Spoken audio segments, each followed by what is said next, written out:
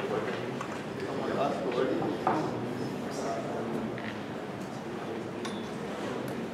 I'm Suresh. I'm an engineer at CERN, and as a member of the cloud infrastructure team, I will talk about uh, infrastructure and status update and how we do releases and about the bit of packaging uh, all. Can you speak a little bit louder because you... Um, So is screenshot of the current status of uh, our infrastructure. Um, As you can see, we have more than 6,000 advisors, 2,000 dollars, 200,000 cores, and we have created so far 2 million VMs and 200 VMs per hour. created. So there you can see also that we have 50 Magnum clusters. This is the project that I'm working on. It's about uh, container infrastructure. So I'll talk a bit more about that. later. This is the evolution of uh, availability of course in cloud. So we started uh, almost three years ago with less than 2,000 uh, cores. Now that, that figure has grown 10 times. We expect a 15% increase like, in the next six months, maybe optimistic in the next year. And because of that, uh, most of uh, computing resources uh, CERN, they come from OpenStack. This is a bit of history of how OpenStack uh, started and evolved at CERN. the first attempt was uh, at uh, 2012, and the team at that time iterated for one year, and in 2013 they got into production with the basic services like uh, Nova, Keystone for communication, Nova compute, uh, transfer images, and the dashboard, of course, because users want to that. Uh, and then gradually we started adding services. And now we have most of the key services OpenStack. We miss Swift, yeah, but uh, at CERN there is another object storage uh, service, so we duplicate here and there. Um, as we notice, if you are familiar with OpenStack, uh, Neutron came a bit late in the game because the network CERN is a bit special, so it wasn't very straightforward to integrate uh, Neutron. So I will start with the compute service. As I said, it's in three years in production. Uh, it's not an upstream serve Nova from the, from the community. It's here in past because of the issues with the networking that I mentioned. And it also, I think, is homogeneous our setup. We have uh, Hyper-V and KVM, and since it's relatively old infrastructure, we have also very old, slightly old hypervisors with CentOS uh, scientific use, which is CentOS 6, and most of the new ones run now in CentOS 7. Um, some challenges about this service is that um, we need to testing and releases by taking the upstream components, like the upstream Nova components, and then pass them accordingly, and then test them and then deploy. And for that, there was there were two migration campaigns. One it was to migrate all VMs from SL6 hypervisors to CentOS 7 hypervisors, so we can upgrade the Liberty. And we tried to do a homogeneous infrastructure with KVM only, so we tried also to migrate from Hyper-V to KVM. There was also Windows expertise in our team.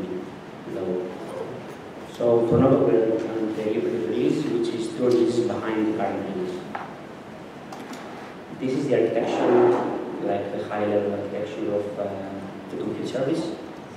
Uh, on the top level, we have the controllers and the schedulers and the API servers. And on, under that, the, we have the child cells, which rely, which rely on the data center that we have in Geneva and in our data center in Hungary, Budapest, where we run their local schedulers and, of course, the compute nodes in every hypervisor. Next is the second most challenging, I would say, service that we run in, in our infrastructure, it's the networking infrastructure. So Neutron has this very good concept of uh, plugins. So we have uh, uh, site-specific plugin that interacts with the network database we have at CERN. So we reach that gap we have and we were catching Nova. So now we can move uh, forward and upgrade frequently and keep up with the community. Though the problem is that we have production services, other groups have production services running in the old setup. So a very challenging part is how to migrate from normal from Nova network to Neutron without losing connectivity, of course, and changing the IPs of the, of the VMs. And of course, Neutron is also free liberty, which follows Nova. And next is the block storage. Um, for block storage, we rely more than 90% of Ceph on Ceph, and some NetApp uh, we will them.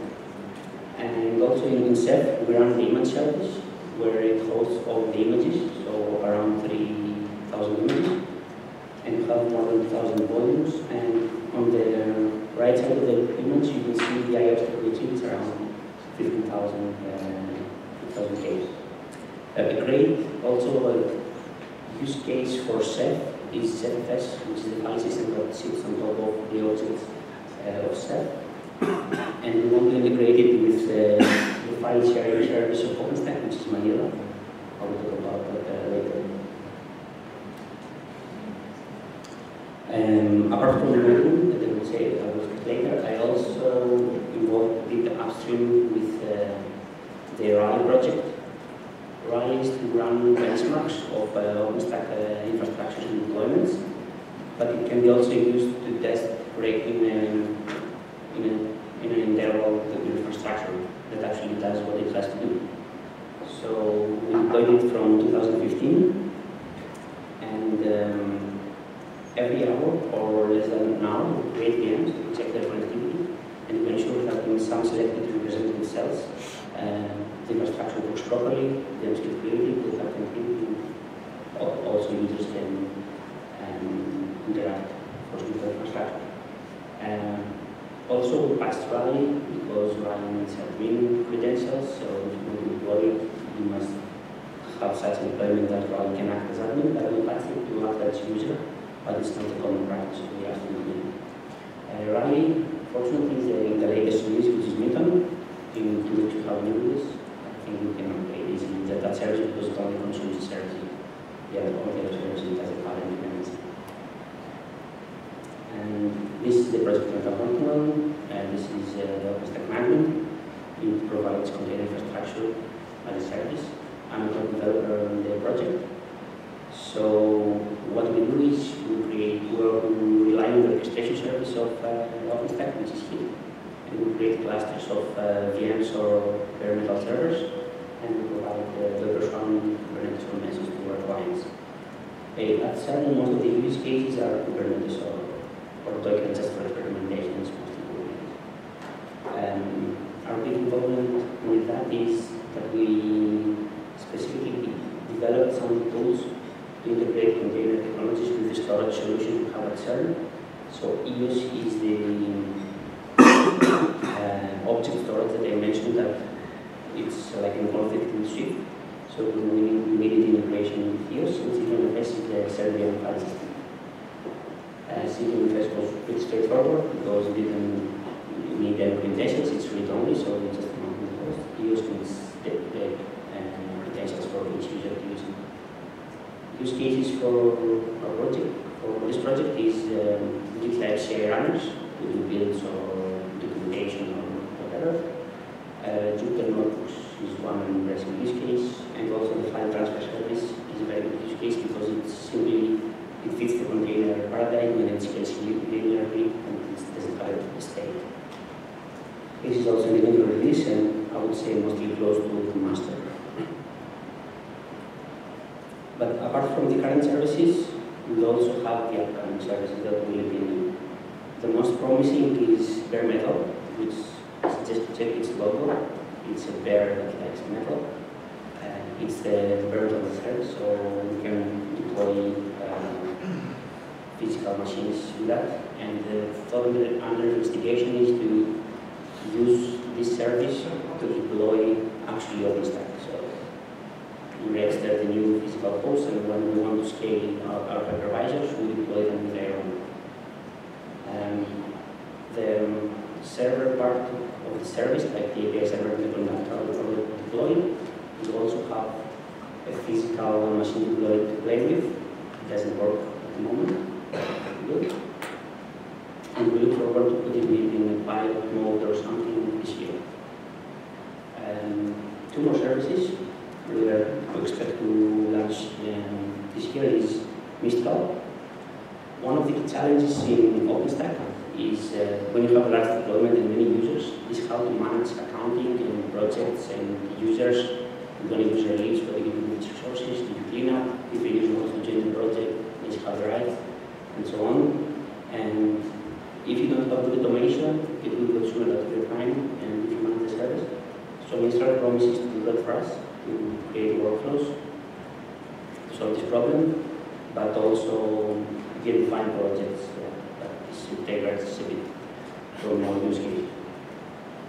And the third project is the Manila share uh, service that creates um, uh, block devices and it also creates NFS volumes so we can mount in the VMs want, all the volumes and for example, one good case, case we have is how to distribute configuration the machines that comes in handy. Assuming that we don't have Puppet that we also important around. So how we run the service now, the operation part. Uh, there are multiple teams that are involved. It's not only the cloud infrastructure team. There is the Microsoft team that provides us with the images and all the software we need and the infrastructure to build the software. There is the team that manages Ceph. So we don't manage the Ceph cluster, we just it. And it's the big group that provides us with uh, the deep implement service. There is also the procurement team that actually buys and installs hardware. And our team is divided in developers and managers and non-data development. Upstream, um, we were the first super users of OpenStack and also part of the large deployments group and have a board representative the uh, directors.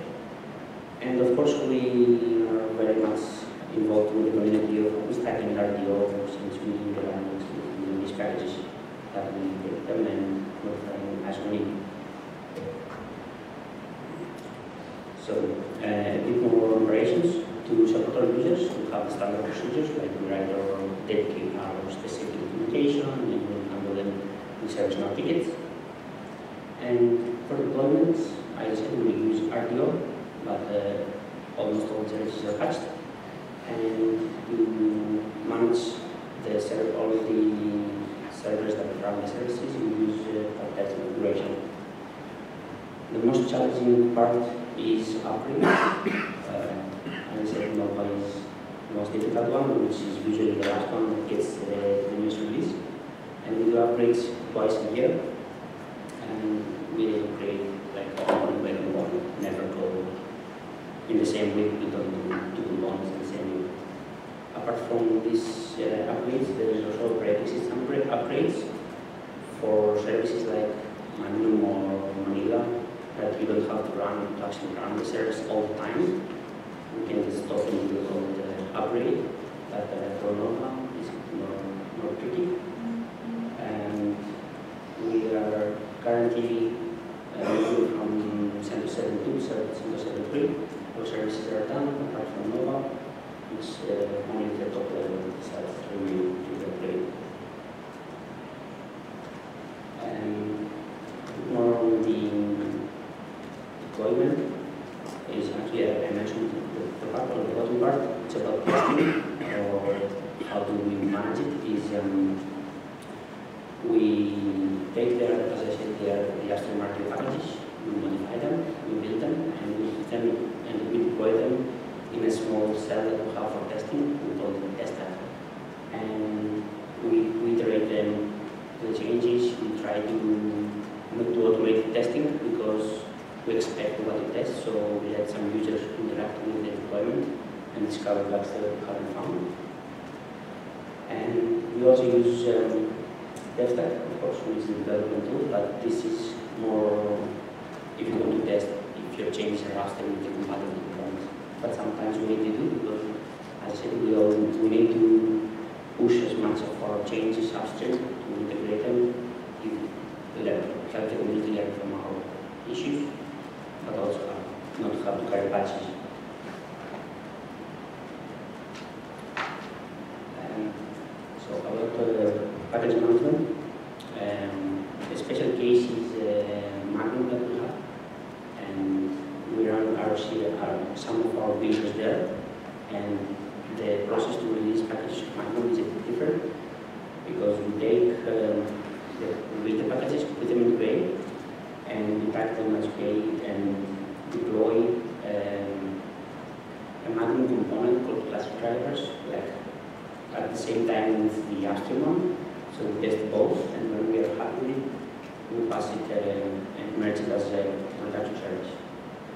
As a in production, we deploy it everywhere. And what I was going to mention is about the cloud environment that we use.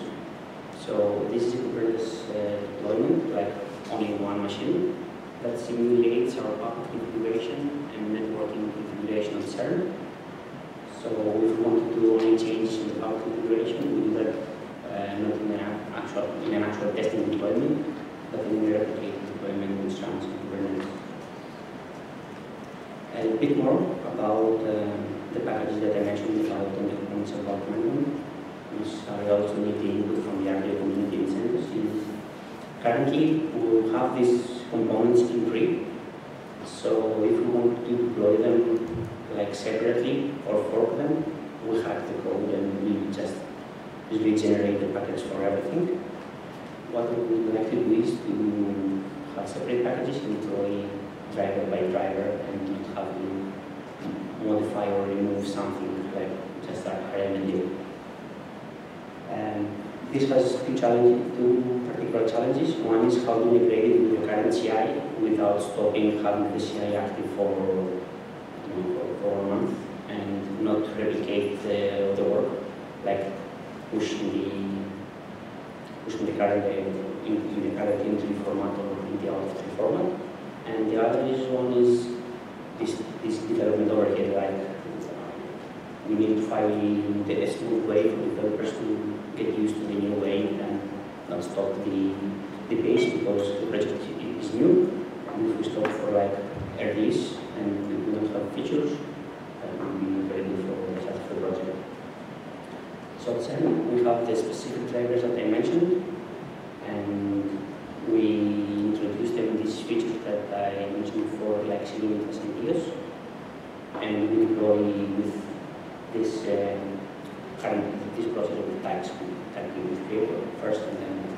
And a OpenStack at CERN runs for three and a half years now, and at least we are, we're, very happy. The user seems to be happy because we have more and more users loading our services and our infrastructure. And of course, it continues to grow because the demand is high and it gets mature day by day. We add uh, new features time by uh, like um, each year. Last year we added the container infrastructure service. This year the big change will be the metal service, which we do. And with all this we learn, we actually to push it back to the community, we try to improve uh, uh, the, the, the projects and help adoption. I think in, uh, in uh, Magnum and uh, in Keystone, in some features of Keystone for identity federation, have the cloud, which will give a very significant contribution. And kind of thing, if you want to learn about some good stories and some semi-disaster stories, you can go to several blogs about some good pages. That's it. Thank you.